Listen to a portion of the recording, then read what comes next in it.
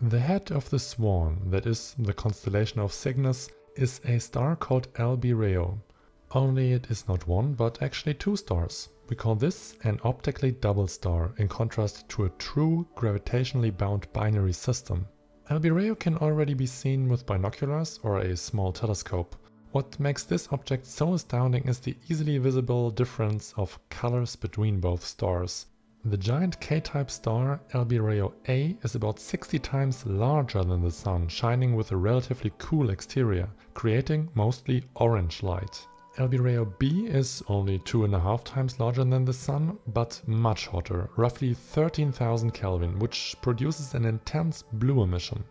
Stars radiate their light according to Planck's law, which describes the dependence of radiated power to temperature of the emitting gas. This explains why very hot glowing objects appear blue and colder ones orange or red.